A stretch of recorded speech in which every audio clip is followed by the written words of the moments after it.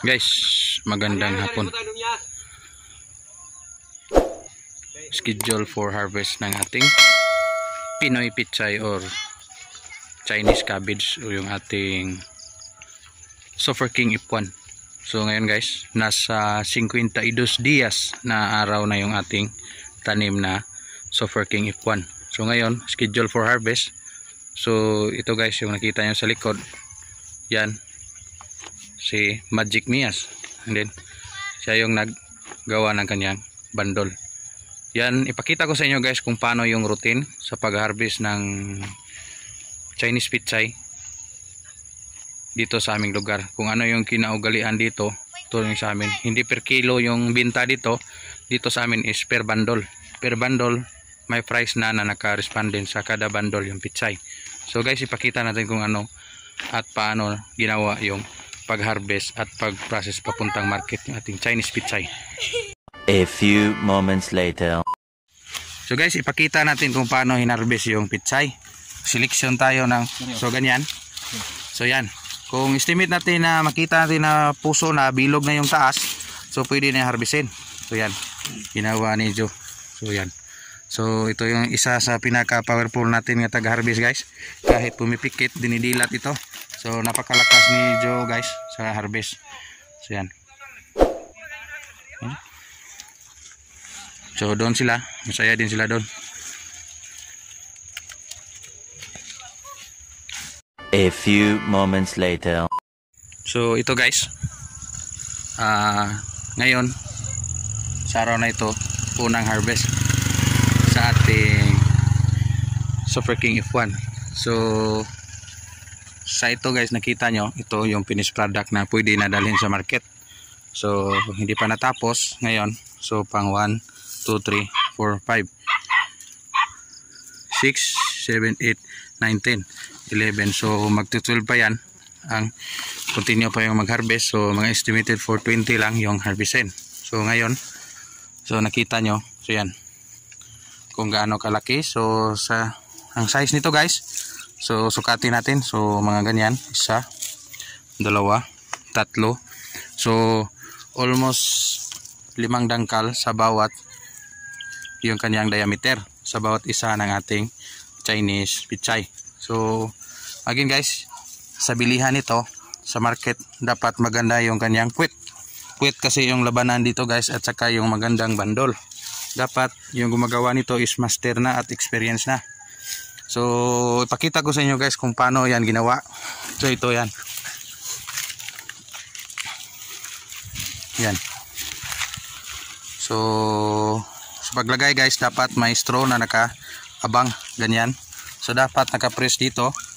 Lagay yung improvised kahoy dito at saka doon. So tatlong straw guys. Sama na yun sa expenses nating straw kasi hindi na tayo pwede makapanghingi ngayon ng straw. Pwede lang yung straw na pwede tapon gamitin sa soft drinks pwede yung gamitin. Pero guys yung ginamit na straw is pangtali so ito guys nakita nyo. Yan. Isa-isahin. So dapat i-check din kung magandang variety.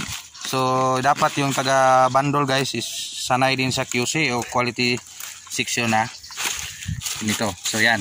Pinipress niya na mag uh,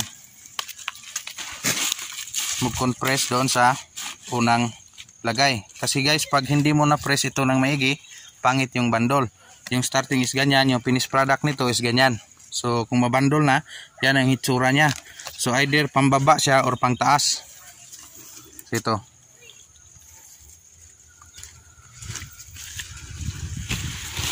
So itong ginawa ni Ayan, so yan. Pila gro kubok yan mga 22. mo 22 bro. So 22 guys yung estimate dito sa isang pair. So bali yung finished product nito is ganito na. So kung kung compress ng ganyan, dapat ganito na. So kung mabilog na, so itakipa ng isa para matawag na isang bundle. So yan. Isang bundle yan, bawat isa yan isang bandol yan so yung area na pinaghirbisan ito lang oh so parang ubos-ubos na so dito na area nito is wala na so again guys yung 52 days natin is nauna ng harvest so yung 51 days sa taas is hindi pa na uh, tira pero schedule for harvest yan depends sa buyer kung ah, paano mag-schedule. So dito, sa start ni Magic Mias, so ganyan, tinira niya, naglagay siya ng straw sa ah, kahoy. So improvise kahoy lang guys, kuha lang kayo sa tabi-tabi. Especially magagamit niyo kung may tanim kayo na madrid cacao. So improvise madrid cacao.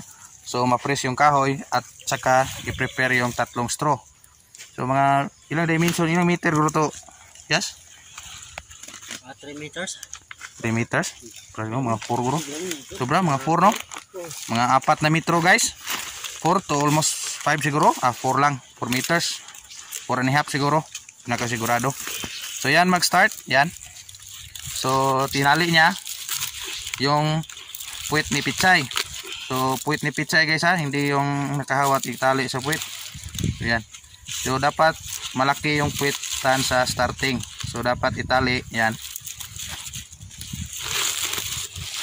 So, dapat itali ng mabuti para nang sa ganon is malakas yung kanyang panguna. So, tapos, continue niya yan, katulad sa kay Aya na ginawa dito.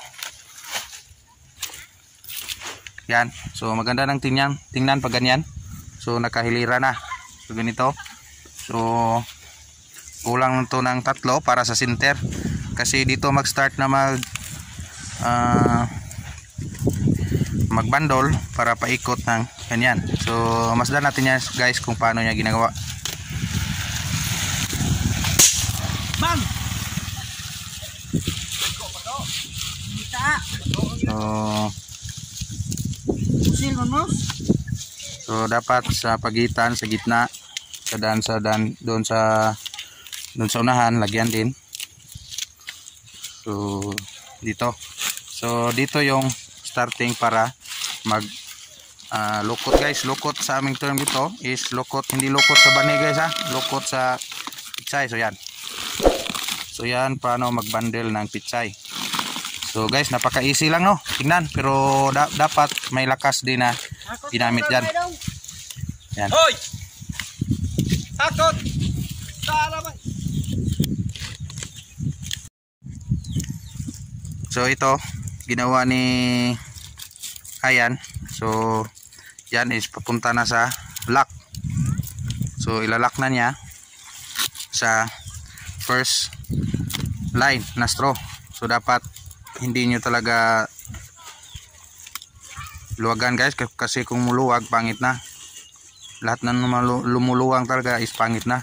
Okay kung bago pa. Pero kung maluwang na wala nang silbi. Di ba, Yas? Okay, pagyapon. So, yan. Napakagaling. Ayan, guys. So, yan. Ito si Parating. Ito yung si ang ating kasamahan na isa rin kasama din natin sa grupo. So, ito. Siya yung taga-karga. So, So yan, tapos na. Pag-lock yung straw and then papunta doon. A few moments later. Isa na namang hapon na, na may nakuha tayo na aral o natutunan sa ating pagpa-farming. Especially kung paano i-harvest yung pichay. Again guys, dapat sa ganitong gawain, dapat sipag lang at kunting pasensya kung mahina ang persa mong ginamit, talagang hindi mo magawa yung proper na bandol. Again guys, sa pagpa-farming, hindi lahat pera. Kasi kung alam natin may pera, wala na nag-engineer ngayon, wala na nang, oh Lods, shout out pala oh. Yan.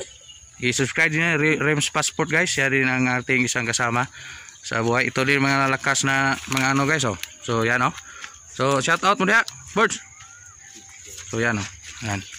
Mga tumutulong din natin yan guys. So Kaway-kaway ka naman dyan, tol. Oh, kaway daw. So, kung alam natin kumikita lahat sa farming, wala nang nag-opisina, wala nang nag-engineer, wala nang nag-teacher, wala nang nagpunta sa ibang lugar, wala nang abroad kung alam na sure ball na kumikita sa farming. Investment at tiwala sa sarili at panalig sa may kapal at sa bual na may mai-share tayo at may maiparating sa ating kasama. So, Insakto TV guys, salamat.